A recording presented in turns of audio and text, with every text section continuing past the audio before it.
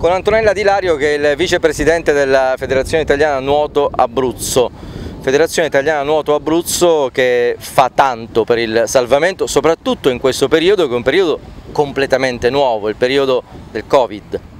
Esatto, la Federazione Italiana Nuoto eh, dà un'importanza fondamentale al ruolo dell'assistente bagnante perché come abbiamo visto dall'esercitazione di oggi è l'avamposto eh, per i soccorsi in mare. I corsi di assistenti bagnanti si rivolgono non solo per la sicurezza in mare ma anche la sicurezza in piscina e sono i tecnici professionisti eh, della sicurezza che hanno il compito principale di vigilare sulla sicurezza. È ovvio che nell'ambito dei nostri eh, corsi poi si, eh, si, apprendono anche le tecniche di primo soccorso come abbiamo visto oggi, in attesa che poi il 118 arrivi con una competenza più specifica. Diciamo la parte principale, oltre alle tecniche natatorie dei nostri corsisti, che si avvicinano a questi, a questi corsi già a partire dai 16 anni, sono tutti ragazzi che provengono da un'attività agonistica di nuoto, di pallanuoto, eh, che quindi sono già pronti, preparati per fare un'assistenza adeguata.